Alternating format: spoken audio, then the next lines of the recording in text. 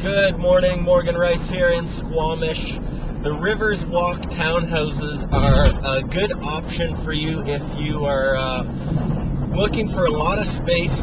They have around 2,300 square feet. They're new construction and uh, they're in a great neighborhood. So it's uh, a good option for you if you're not quite ready to get into the full-on, full-blown detached house in one of the good neighborhoods in Squamish, but you still want to have a nice new home in a good neighborhood with lots of space.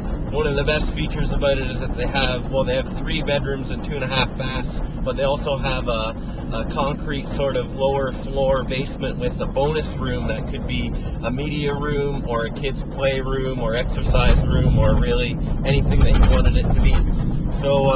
Riverswalk are uh, a good choice for you if you're not quite ready to get into that full-blown single-family house, but you still want a great space with lots of room in a good neighborhood. You can always get to me at morganrice.com. Thanks. Have a great day.